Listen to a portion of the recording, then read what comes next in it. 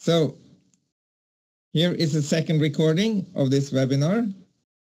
So far, we made a model uh, and this model, here I have added the result of the model as a reference parameter. It's disabled now since I've already put it there. I can't see any difference on this one, but um, if I go into the parameters here, we can see that we have the parameters result of model and an asterisk and result of model. So it's the same parameter twice. This one is a reference parameter. It has the same name because it's the same variable, but it uses reference. So now I would like to add this run with 60 in amplitude and 1.1 in period. So I press this button, add to runs. When doing that, it asks me for a name. I could, for instance, call it 60 and 1.11. I could give it any name. I can also give it some documentation. I can do that. I doc for for 61.11. Now this run is stored.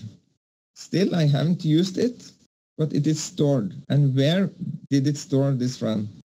If I go into the Project Explorer, you see I have runs here. If I double click that one, I can see this is a run. This has an exclamation as well, and that's because this is a current run I'm using. So if I choose here now, I may not have this one open. So normally we use this drop down to select a reference run.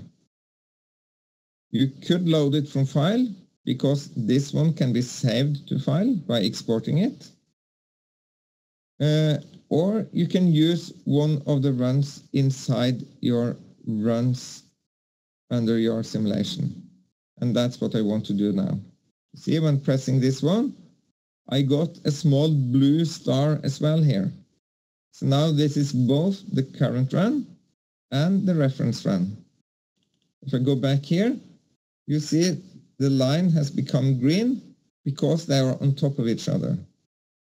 If I now choose some other settings here, like this for instance, and run it, you see the red one. That is the current setting and the green one is a reference setting. But one disadvantage of this is that I, I may wonder what was the settings, the inputs of amplitude and period for this reference line, the green one. Maybe I want to do something similar. I actually have it here in the name, but I can't have a name containing 100 parameters. So therefore, I usually, actually even when not using references, I often put a table so I can see which values are used in this, um, this slider.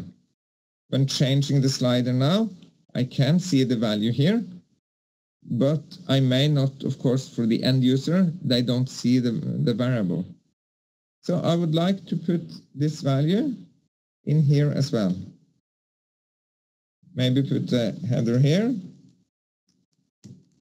amplitude, and this last cell I can use for the reference value. So I do the same as I did for the graph. I use the right mouse button to drag it. I put it here and say I want to assign the reference parameter value in there. So I do the same thing for the other one. Put this one there. I put the period using right mouse button. I do not, oh yeah, this one should be the default, sorry. It should be the, the normal value. So that's the bold one. That's the current value. I right click again and choose the reference parameter. To put the name, I could write it as I did there, or I can even use the right mouse, mouse button to do that because we have an option to assign the parameter name in there. Then it uses the name of the variable. So now the only thing I need is to distinguish here what is reference parameters and, and what, what are the, uh, the normal parameters. I often use a kind of code to show what is a reference or what is not a reference. So one way is to use the fill and, uh, and the pattern. So use some dithering and, and a light color, like this, for instance. Then you easier see that this is uh, um, this is a reference. So if you do that for all your reference parameters, then it gets much uh, much easier to follow them. Of course, you can also insert a column in uh, in both these and say, let's put some more space, that uh, this is a current value and this is a reference value. Current and ref. Then there's no doubt at all. Maybe you want to remove those outer lines. So now, when changing this one and changing this one, you see the values here. That is one benefit. The other benefit is that when you store it, just call it run one, then if referring to that run, you will see also the value down here showing the value of, uh, of the current run. Uh, actually, I didn't run it, so so I should um, I should store it again after running it because this value shows what is shown here. I store another one, run 2, and I can refer to that. Then you see I get the same value on both of these. Very useful. And then, of course, if you have a small difference like this, then it is very useful to be able to compare. A little bit less ampli amplitude and a little bit longer period. And you see the effect. Maybe you want to adapt it so, so it gets close. If you want it very similar, you can watch these values, move this one, so it gets close to 66, and this one, so it gets close to 66.7. There, now they should be on top of each other in a manual way. And uh, you could also find other solutions to, to handle these values. Okay. This is kind of the basics of using reference parameters. You can use them in tables, in graphs. I could also use it for, for the slider, but you can't change the reference parameter. So normally you would use sliders for the direct input and show the value in here. Of course, you can see here if putting 55 for instance, I can use that one for input, but this one is not possible to, to give input to. The same would be the fact for, for a slider. It would become a bar. Okay. That's handy, yes. And next point now would be multiple runs, unless you have some questions for, for this one. And um, this period, for instance, maybe you don't want the period to be a user input like we have done now. Maybe you want to make the period dependent on which run you're running. That would typically be something you would do for a scenario uh, analysis or, or sensitivity analysis. So I will show you how to do that. first I will show you how to make several runs. On the simulation menu and simulation settings, you have run control. So we've had another seminar where we utilized the risk assessment and risk analysis. This is similar, but, but I haven't defined a risk analysis kind of simulation. But still, I have the ability to choose, for instance, uh, let's say 200 runs. If I press the play button now, you see it is running 200 runs. Maybe with different periods. I don't know how well you see this on the web, but it's now running. It's now come to the 60th run. And it runs the same value over and over again. This doesn't make much sense because I get the same value all the times. So I just see the same graph being repeated. So what I would like now is to have a different period each time this simulation is run. To do that, I will do it directly on this variable. First, I change it to an auxiliary. Then it is calculated on each time step. Not necessarily something I want to do with the period, but uh, but now it's easier to, to handle it. So in this case, I simply use, uh, sorry, I use a run index and multiply it by, for instance, one quarter. Or I could say to make it not being that much different in the start, run index uh, plus 5 multiplied by 0.1 quarter. I also reduce the number of simulations or number of runs. So I go back to five runs, for instance. If running this now, press the play button, then you see I got some runs. Let me, five was a little bit um, too low, I think. Let's make it uh, 15. And I run it again. Then you see these fluctuations. They start with a small period and they are increased. Okay, I still don't see very much on these ones. So one thing you could do when running these kinds of runs would be to pause the simulation at each run. You see that's a selection here.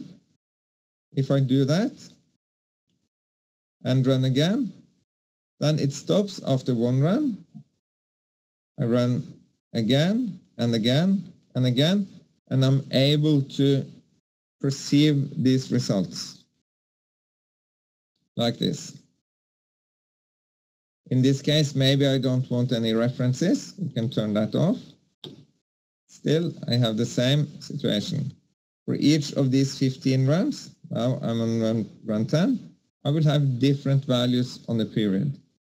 If I press reset now, when I'm on run 10, then I'm resetting both that run and the total number of runs. So I went back to run number one on this. And on run number one, I have 0.6 quarters as my period. Here is the result for 0.6. Next time, 0.7, and so on. Because I'm multiplying this run index plus 5, which then starts on 6, multiplying that by 0.1 quarter. So, what we may want to do is to show all these graphs as you saw with the reference run, I can refer to one reference. Here is one, here is another one, here is the last one I have available now. I could save them to disk, anything, but I still, I can only see two at a time. In most cases, that's both recommended and it's something uh, I would say is most practical. But maybe you want to show more. To do that, I would like to show a small procedure of doing that using three variables or three stages to do it. Because if I want to do that, I would need to make a variable containing one element for each run. So actually the resulting variable I want to show in a graph would be something like this. I would need to make a for function. R, for instance, for runs equals 1 to, let's say, 20. I want to show 20 runs. In my current case, I have 15, but I have to choose in this variable how many runs to see. And I need some value, 35, for instance, before I finish this. I, I prefer putting that on a separate line. So now I have 35 in each of these elements. If I make a graph of this,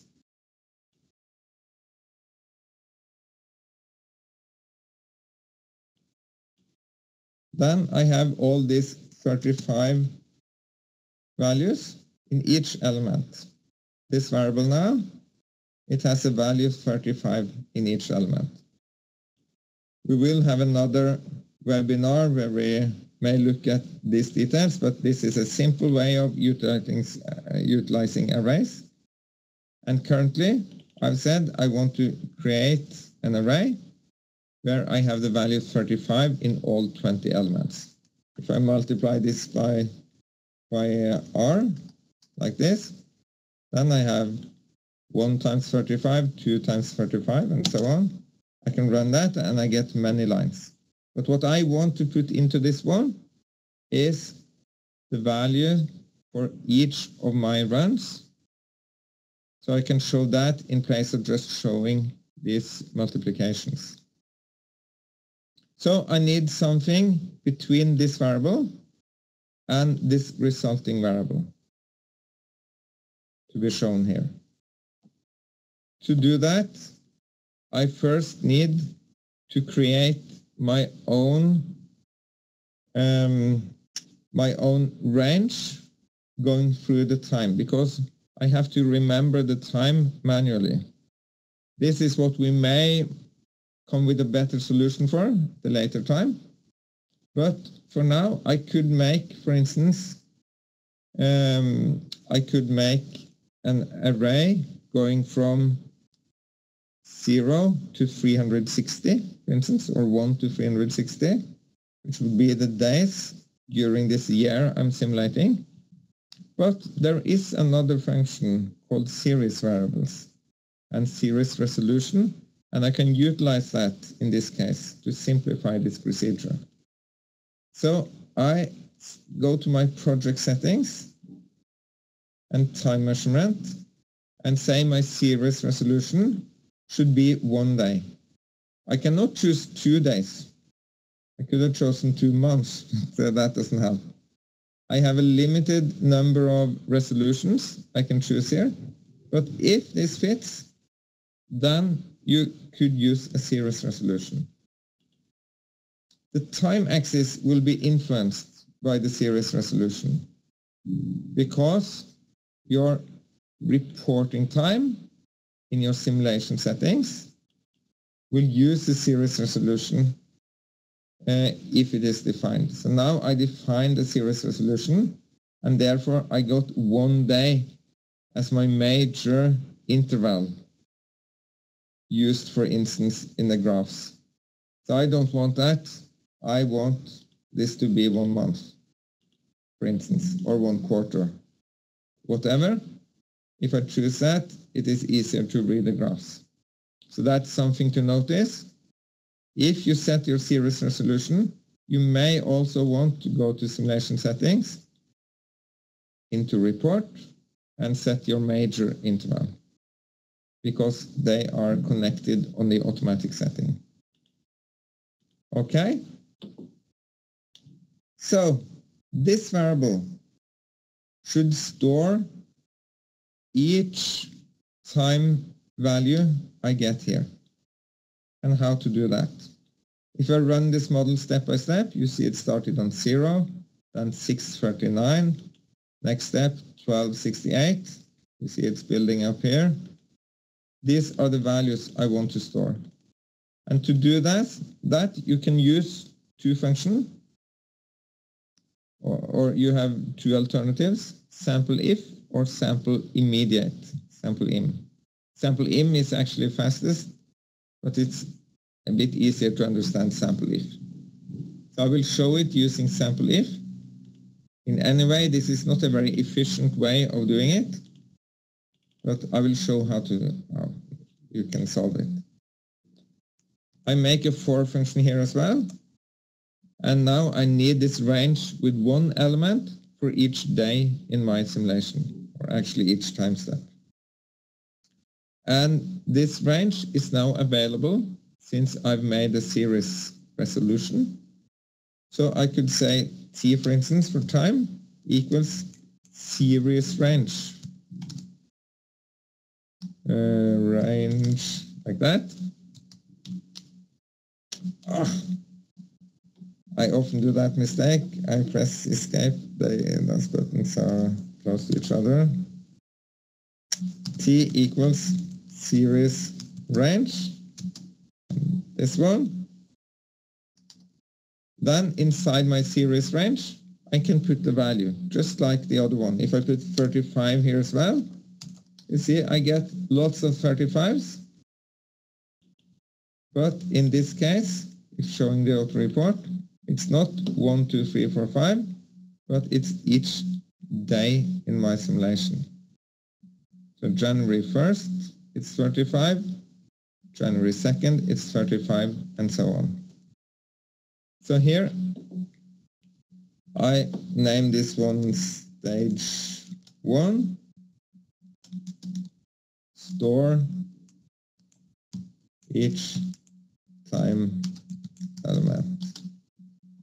So I need to use this link to store each value here. 30.22, for instance, should come into the element of January 23rd, as you see here. Currently, I have this 35 on each of them, so I need to do something inside here. And that something is to check using this special function, sample if. Here I want to say I sample this value only if the numerical value of this t equals and what should it equal? Here I need a value which is 1 for the first time step, 2 for the second one, and so on. One way of doing that could be saying time minus start time. Oops, time minus start time divided by time step. That's what I would use if I had used just the value going from 1 to 360, for instance. But when using series range, then there's already a built-in function to do that. So in place of doing this, I could say as simple as period index. The period index will be one on the first time step, two on the, on the or uh, actually not the time step, but the first time frame for the series range. I could have different time steps and um, and series resolution. But this is very useful. It's especially useful because you can combine Gregorian and still have monthly steps for the series range. That's really powerful. You also have one called period length, which then would be 31 days in January, 28 days in February, unless it's a leap year and so on. So these functions are very powerful, but now I'm using it in the simplest way possible. I say if this time, for instance, January 3rd, if January 3rd equal and the numerical value of that, which would be 3, if 3 equals the third period index, for instance, if that's the current time, then I want to sample this function. As simple as that. So now I didn't get any values on the first ones here, but if I continue, you will see that uh, if I find it here, you see now I started on the 23rd, then I get those values into this variable. So I'm about to go to 26th. We go to that step, that value will be put in there. So now I'm actually creating my own time frame inside this one. When I run it, then I've got all the values here except the first ones, because then I hadn't made this function. I even get some strange values at the start, because it didn't ex exist at that time. But these ones, you see one is very close to zero, and so on. So now I have stored one value for each time. But if I continue now on the next run, I'm currently on run one. If I go one more step, then I'm on the start of the next run and all these values are reset. And I start over again with new ones. So now actually I forgot all those values I had. So I need one middle step here or one middle stage and that is sampling the runs. This one, sample each time step. So I also need to sample the runs. And that's much easier than this one because there is a function to do that. So I say I want to connect this one. I also want to use that one down here. I call this one stage 2 sample the finished run. That will be done on the end of the simulation. That's actually why I need to store these values. I'm going to go here and say sample runs. As simple as that. It has one parameter and that's what to sample. So this one has only the range. This one here, if I show the auto report, Then you see it has one element for each run here. Now I'm on run two. The first one, this variable didn't exist then, so I have question marks. The third run also has not existed yet, so that's also question marks. But you see this one contains some values. If I run this, then I get one value for each time element in this one. If I run again, then I'm filling in these values for third run and so on. So then I want to turn off, let me delete that one. I want to turn off now this setting that I automatically pause. Because now I just want to run all of them. And I want to show this value rather than just some dummy lines. So this stage 3 should simply pick out each of the time elements here to be able to put it in a, in a graph. Uh, so I call this one remove series range. Um, and uh, give a fixed run range. I'm using a fixed one here, you remember, going from 1 to 20. I do certainly not want to use 35 times the run number. I want to do something else here. And in this case, I need this, this stage two, but I need to pick out uh, some elements here. Now you see I get the 20 elements and I get run range and series range. I only want the 20 elements. So in here I need something to pick out the correct value. I'm using the square brackets. And there I need first on the run range we saw we had, I would like to use this R. So I simply use the index function of R. Then to pick out from the correct date, I can use this built-in period index again. And I need, of course, to use the index function around that one as well. So now, if I reset all this, then run the model, you see it is drawing one graph for each of my runs. It got very messy, but that's what we've chosen. Maybe I would like to, to run less simulations. Let's go down to six simulations. And I run it again, maybe turn this one off. Then it's not that messy. But I still, I prefer being able to compare with another value here. Or as we did on the uncertainty webinar, I would like to use the percentiles on this one.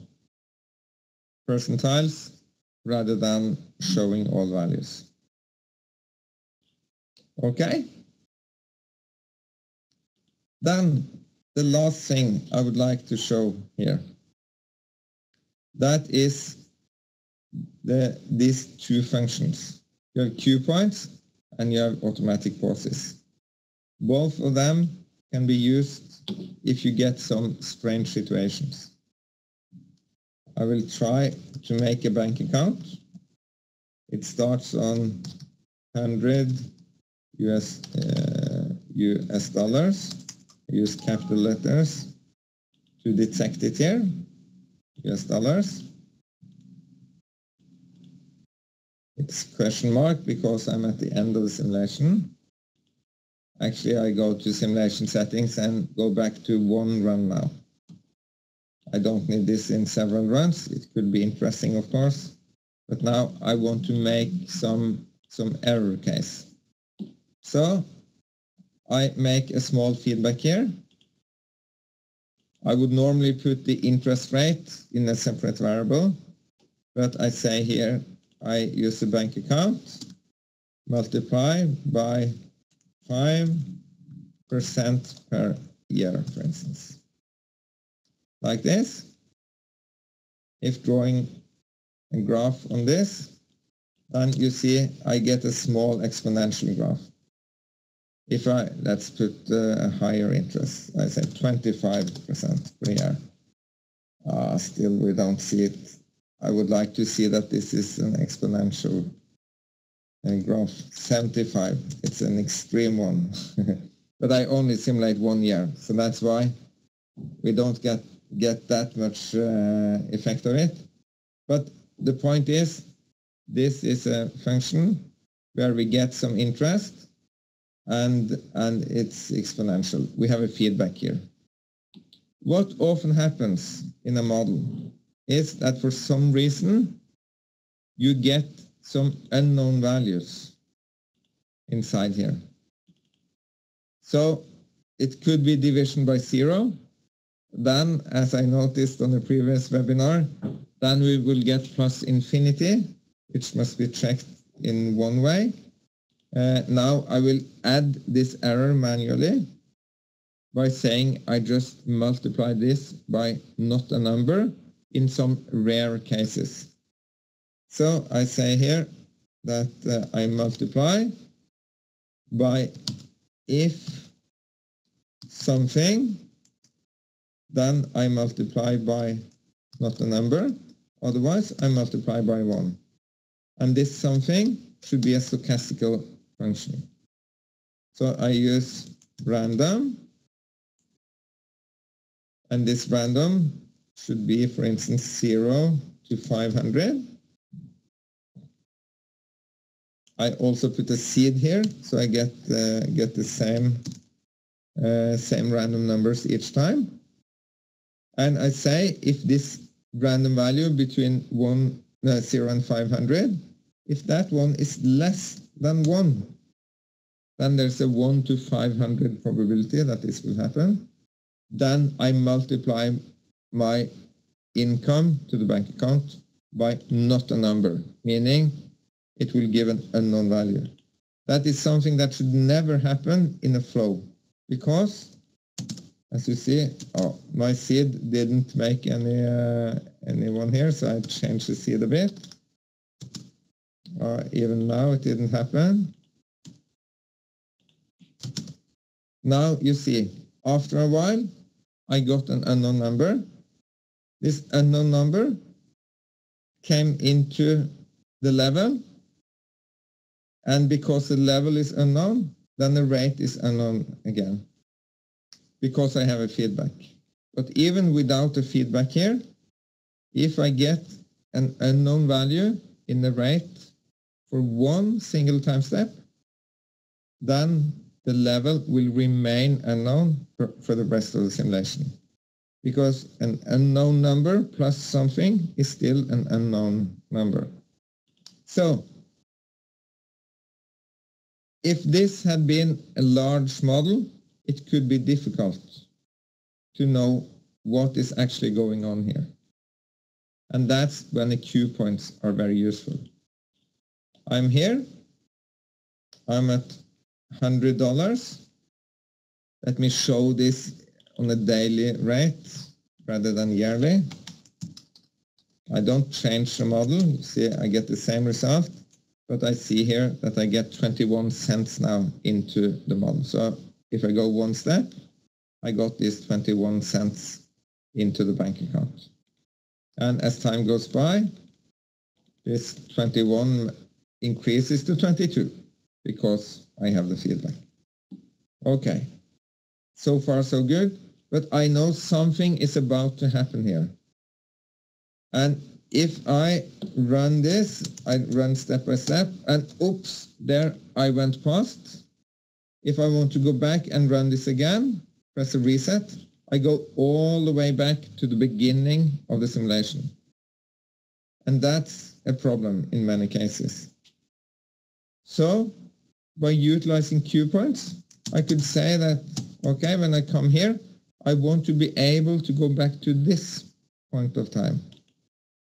I make a cue point, then I can continue a bit more. I could make another cue point, and I continue even more. And there, oops, there it happened. But now in place of rewinding all the way back, I can rewind to the previous cue point. Very useful. So I press this button in place of pressing the reset button.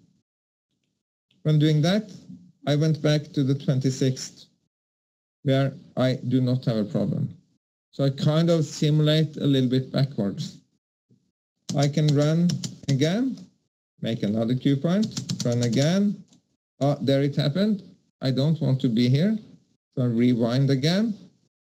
Maybe go only two steps, make a cue point. And here I see I have the problem or the source of the problem. So then I can find out why do I have an unknown number here? Because that should never happen. This is useful when you don't know where to look for an error. Now I have found actually that February 3rd is the date when this problem occurs. If I had been watching this one, or this one is the one giving influence to the rest of the model, then on the next time step, you see I get a, an unknown number here. So there's one step delay into this one, and that's why this may be a difficult situation. But then, if you don't really find the reason, now I go back to cue point again, and I go step, here I see I have the problem. But I don't understand or I don't really know why this happens. It, it could be some rounding mistake, for instance. There could be many reasons for this to happen.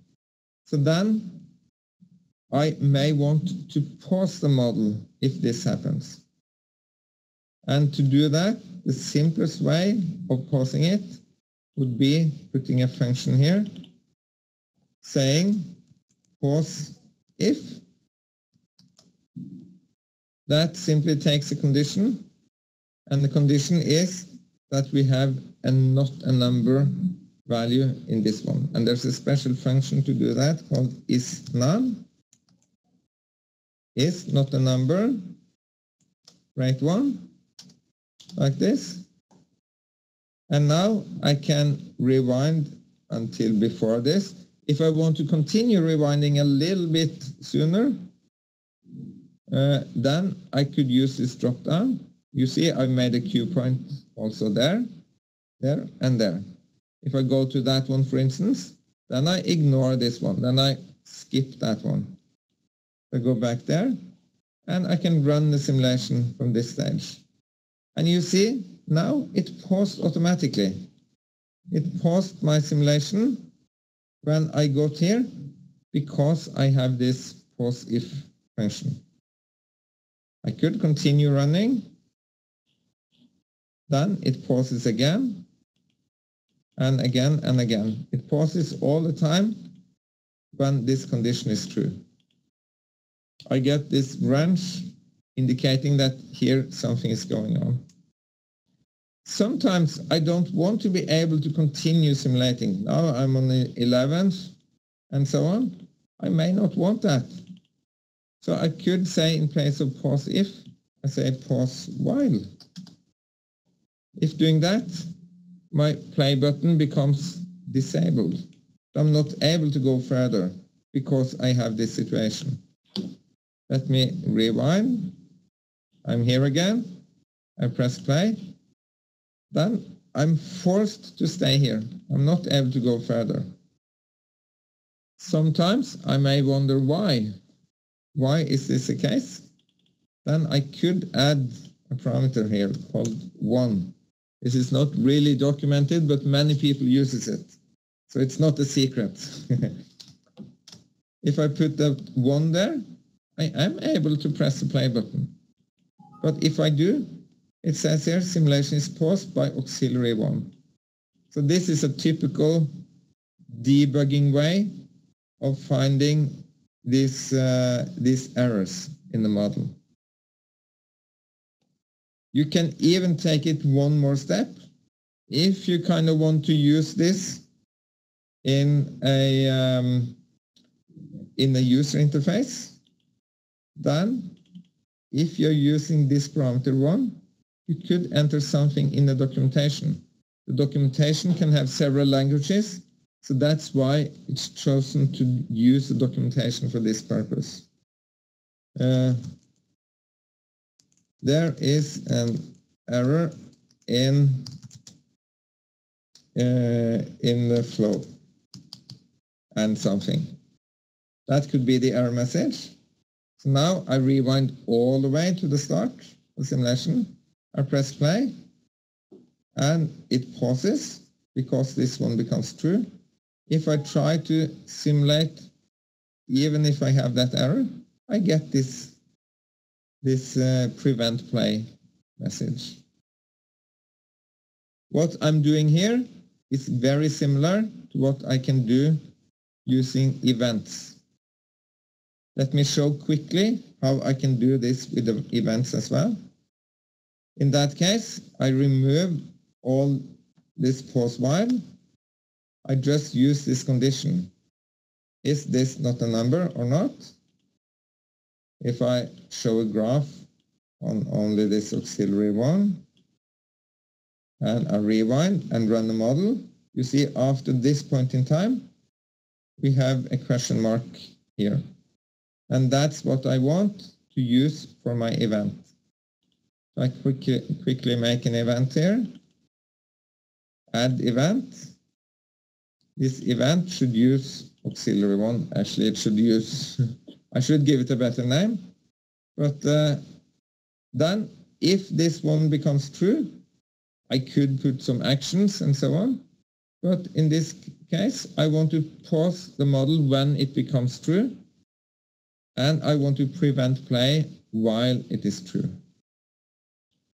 if doing this, I do not put a prevent play message yet.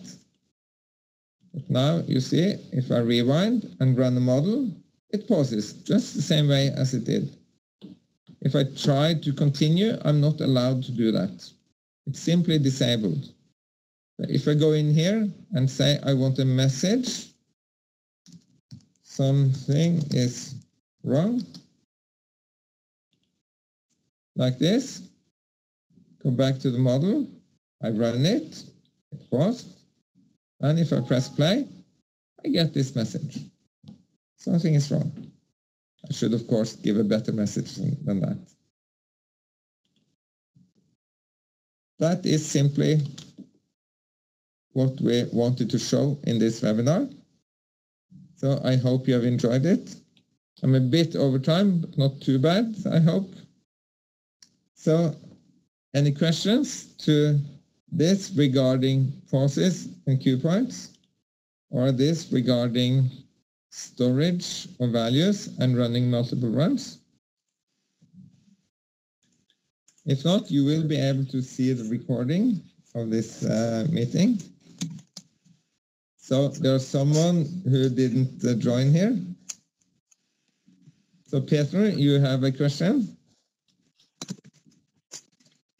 No? Okay. You're writing it, yeah? Hmm. Will be available equations from all stages. Uh, if you can have these equations, I can email them to you.